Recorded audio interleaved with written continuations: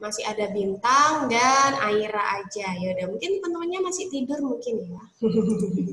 Oke, kita lanjut ya. Kalau gitu ya, kakak share lagi nih powerpoint Oke, sekarang coba kita lihat lagi. Nah, kalian sudah tahu tugas-tugas mereka, ya kan? Berdasarkan pengalaman yang kalian tahu. Guru mengajar murid-murid, Kak. Oke, kakak tanya nih. Yang kalian tahu tentang guru, apakah dia cuma mengajar murid-murid saja? Hmm, tidak. Memarahi murid juga ya? Apa yo? Aira mungkin tahu selain tugas guru, selain mengajari muridnya, apa lagi nih kira-kira? Memberi ilmu. Oke, memberi ilmu. Kalau bintang? Selain memberi ilmu, mengajari muridnya, apa yang dia? Ya? Memberikan pendidikan. Apa sih? Dan itu iya. Jadi misalkan nih kalau kalian uh, kelakuannya kurang bagus, kalian diajari ya supaya berkelakuan yang baik. Jadi nggak cuma pinter aja, tapi perilakunya juga baik. Oke, okay, next. Nah, sekarang tugas kalian kita masuk ke bukunya lagi ya. Coba kalian lihat halaman 99. Di situ ada apa sih, Kak? Ternyata di situ ada teks yang berjudul Bu Guru EN Sukaesi. Hmm, siapakah beliau? Bu Guru ya, EN Sukaesi. Sudah dibuka halaman 99 semuanya? Sudah. Ya. Coba nih kita baca. Coba kakak pengen dengar suaranya Aira dulu nih. Yuk, sambil kita semak ya. Ya. Bu En Sukaisih adalah seorang guru yang baik hati. Beliau suka mengajar anak-anak. Namun, Bu En memiliki kondisi tubuh yang sakit. Selama 27 tahun, beliau tidak bisa bangun dan hanya bisa terbaring berbaring di tempat tidur. Kondisi inilah yang membuat Bu En tidak bisa mengajar di sekolah. Murid-murid yang dibimbing Bu En awalnya adalah anak-anak tetangganya.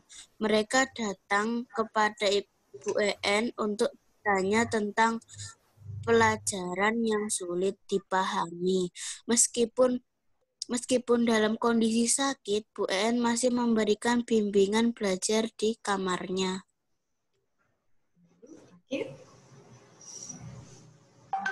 Bu En menjelaskan pelajaran dengan sabar dan penuh kasih sayang.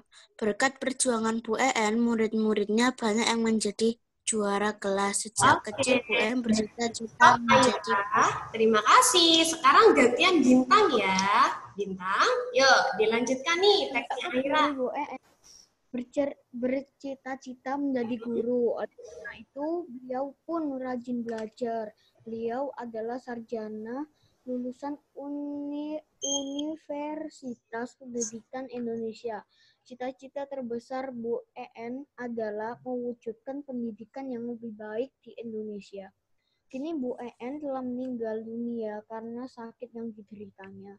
Namun semangat Bu EN menginspirasi, menginspirasi banyak menginspirasi Sebelum meninggal dunia, Bu EN pernah diundang Presiden Susilo Bambang Yudhoyono ke Istana Negara.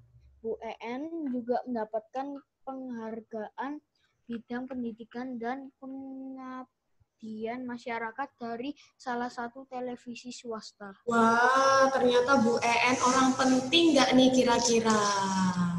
Penting. Penting. Dia sampai diundang di Istana Negara ya kan diundang sama Bapak Profesor eh Bapak Profesor Bapak Presiden Susilo Bambang Yudhoyono. Oke, dari teks tadi ya kan kira-kira Bu EN itu kerjanya ngapain sih? Menjadi guru. Menjadi guru. Oh, tapi dia ngajarnya di mana? Apakah di sekolah? Di rumah. Di rumah. Kalau di rumah apakah dia masih disebut guru? Kalian? Hmm, iya. Iya, karena dia tetap memberikan il ilmu, tetap memberikan pendidikan, tetap membantu murid-muridnya supaya murid-muridnya bisa menjadi pintar. Iya, jadi dari sini ternyata apa nih informasi yang bisa kalian ambil dari teks non fiksi yang judulnya Bu Guru EN Sukaisi? Apa aja Nyata. informasi? Mm-mm, informasi apa? Nyata dari teksnya tadi. Oh ya, ini PowerPoint-nya EN. masih bisa dilihat nggak? Kelihatan nggak ini? Bisa. Bisa ya? Lihat. Sebentar-sebentar. Bisa udah, udah. Oke, informasi apa nih? Coba dari bintang dulu. Tadi kan sudah baca nih ya kan teks tentang Bu Guru EN Sukaisi. Bintang mempelajari apa dari teks tersebut? Informasi apa yang bintang dapatkan? Ilmu. Ilmu, kenapa ilmunya? Meskipun di rumah, walaupun di rumah, Mm-mm. tapi dia tetap menjadi guru. Oh oke, meskipun dia ngajarnya di rumah, Karena- dia tetap menjadi guru. Mm-mm. Karena masih, apa namanya, karena tetap memberikan ilmu. Oke, pintar. Karena tetap memberikan ilmu. Oke, itu aja. Bintang mau menambahkan yang lain? Terus, Terus? dan Bu EN sakit, Mm-mm. terus habis itu meninggal dunia karena Iya, sakit yang meninggal dunia sedih ya, kasihan ya Bu EN ya. Tapi meskipun sakit, dia tetap bekerja sebagai guru. Dia tetap mendidik murid-muridnya. Oke, Aira. Hai. Kedengaran ya? Kalau dari Aira mana nih? Informasi apa nih yang Aira dapatkan dari teks tadi? eh keterbatasan fisik Hmm. tidak menghalangi Oke. eh, Tidak menghalangi siapa? Tidak menghalangi seseorang menjadi guru. Oh iya, bagus. Jadi keterbatasan fisik, meskipun dia sakit, dia lemah, Bu EN cuma bisa tidur, ya kan, dia sudah nggak bisa berdiri, dia sudah nggak bisa beraktivitas, tapi tetap, ya kan, dia tetap ingin mendidik murid-murid atau eh, membantu ya anak-anak yang kesulitan dalam kegiatan pembelajaran. Wah, bisa dicontoh nggak nih Bu EN nih? Bisa. Bisa ya. Jadi kalian tetap harus semangat ya meskipun lagi mewabah virus COVID-19 kalian harus tetap belajar. Kayak gini nih contohnya ya. Berarti kalian semangat juga ya. Sudah segar, sudah mandi terus Ya. eh lihat Kak Firda ngajar hari ini. Oke. Ini sudah ya. Berarti kita sudah tahu kalau ternyata guru itu tidak hanya mengajar di kelas saja. Mm-mm, tapi dia bisa mengajar di mana pun itu, di rumah juga bisa. Mungkin kalau kalian ketemu seseorang yang lagi uh, memberikan ilmu di perpustakaan, misalkan, berarti dia juga bisa disebut sebagai guru. Jadi dia memberikan ilmu, memberikan wawasan kepada orang lain. Orang tua berarti bisa nggak jadi guru ya? Bisa nggak orang tua jadi guru, mengajari kalian di rumah nih? Bisa. Bisa, benar. Bisa. Mendidik. Oke, next sekarang ada tugas halaman 100 kalian buka nih. Baliknya.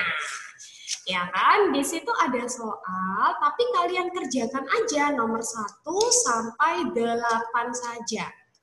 Ya, nanti kita bahas bersama-sama. Kira-kira butuh waktu berapa menit nih untuk mengerjakan? 1 sampai 8 aja. Lima menit. lima menit cepet banget lima menit nanti ini nanti salah teliti iya Aku kan lagi di luar kota, bukuku nggak dibawa. oh, bukunya Gimana? Aku nggak tahu soalnya kalau Oke, jadi Ada. ini nggak nggak bawa buku Aira oke sebentar ini masih kelihatan powerpointnya Iya, masih kelihatan. Oke. Terus gimana ya? Ya udah kalau gitu nanti kakak catatkan di Word ya kalau gitu ya buat Aira ya. Jadi bintang bisa mengerjakan. Selamat pagi Gaza. Ada Gaza. Iya, ada Gaza. Selamat pagi Gaza. Bisa dinyalakan volume speakernya, audionya. Halo, Gaza. Bisa dinyalakan videonya juga buat Gaza. Nih, sudah ada teman-temannya Saya juga ada. nih. Ada Bintang dan ada Aira. Sebentar, Gaza belum menampakkan dirinya ya. Mungkin masih malu-malu ya. Oke, kalau gitu sambil menunggu Gaza siap, kakak akan menuliskan soalnya di Microsoft Word. Sebentar ya buat Aira ya.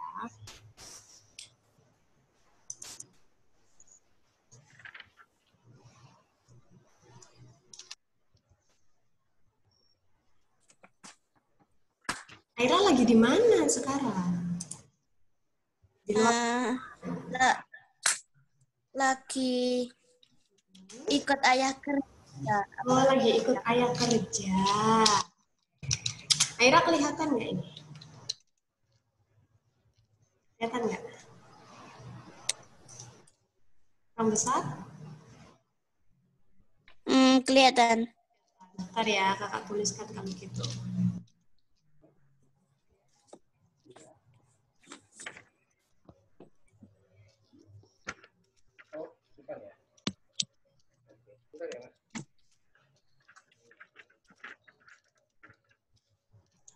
Oke, apakah Gaza sudah masuk? Coba kakak lihat dulu. Ya, halo, selamat pagi Gaza. Apa suaranya Kak Fida sudah kedengaran? Gaza kelihatan aku nggak? Iya, sebentar. Gaza mematikan. Nggak kelihatan.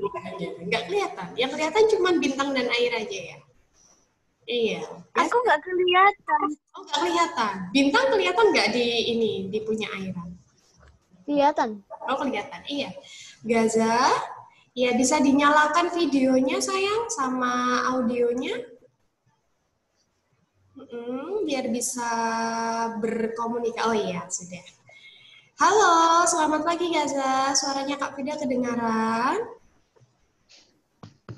Iya. Iya. Mana videonya nggak dinyalakan? Gaza. Bisa dinyalakan sayang videonya. Nah, biar bisa kelihatan nih sama teman-temannya yang lain juga. Tahu nggak caranya? Ada di situ? Semua sekolahnya di rumah ya kan kak? Iya, sekolahnya di rumah semua ini. Ya, Gaza. Iya, di- Bisa dinyalakan video Gaza.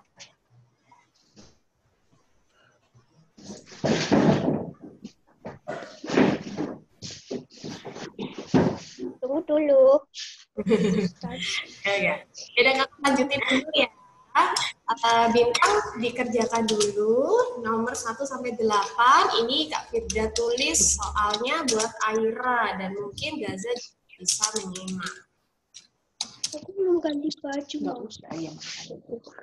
Oke. Aira bisa ini ya saling ditulis Bintang.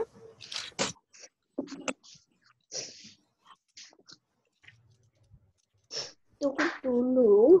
Cuman sih. Halo Gaza, sudah? Oke, Gaza kita sedang membahas halaman 100 nih. Teman-temannya yang lain ada Bintang dan Aira juga lagi mengerjakan halaman 100 dari modul.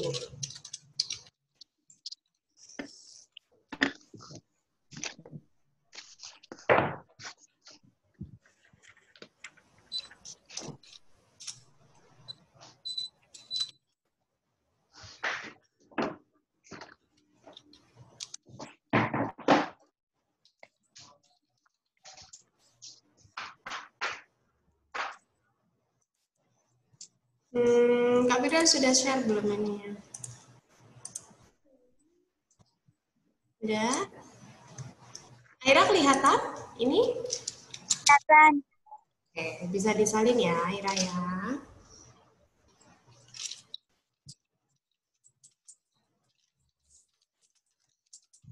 Halo Gaza, masih online, masih connect nggak sama Kak Firda?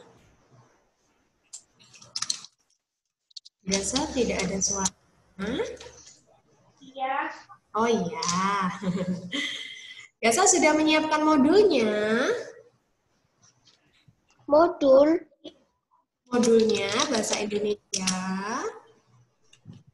Buku yang biasanya kita Udah tak keluarin. sudah dikeluarin. Sekarang Gaza buka halaman 100. Udah. Oke, Udah tak buka. Ah, sekarang dikerjakan ya nomor 1 sampai 8 nih. Kakak-kakak waktu sekitar 10 menit. Nanti kita bahas bersama-sama. Ya. Iya. Oke.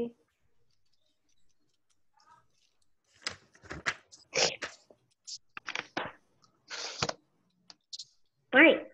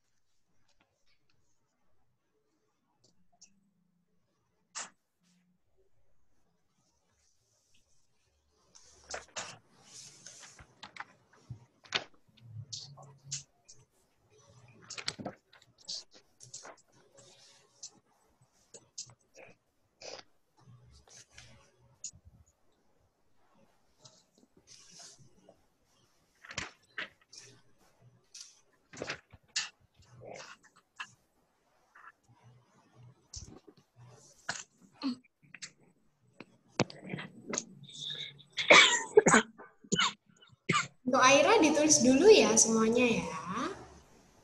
Iya, Kak. iya, jawabnya di Iya.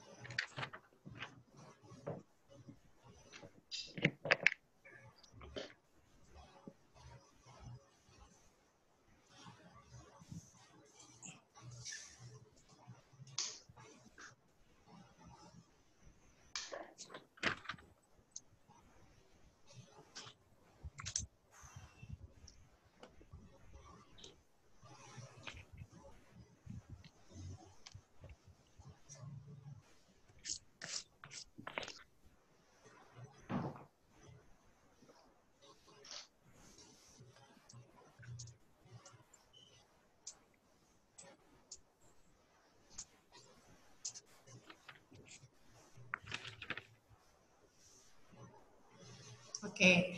Aira sudah ditulis sayang? Bentar ya, Kak.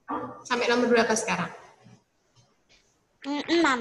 Oke, kurang dua lagi.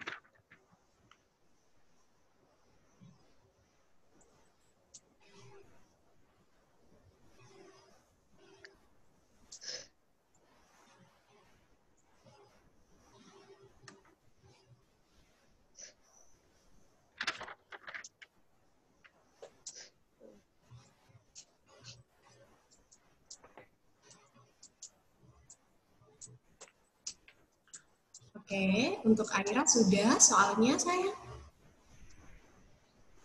Ntar, Kak.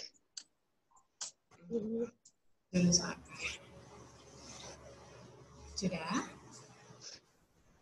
Kurang satu. Satu, apa yang bisa diteladani dari buku UPN? Kan?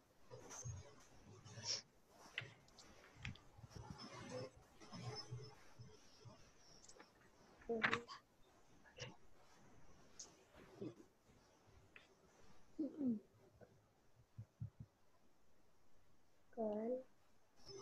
Penuh.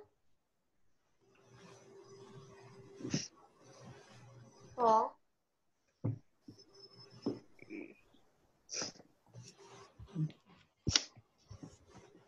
Sudah, Aira? Sudah. Sudah, Kak. Kalau gitu, kakak kasih break 5 menit ya untuk kalian mengerjakan. Nanti setelah 5 menit, ya. kakak, on, kak share lagi kayak tadi ya. Siap ya? Ya udah, selamat mengerjakan. Kakak akhiri dulu ya. Dadah. Dadah.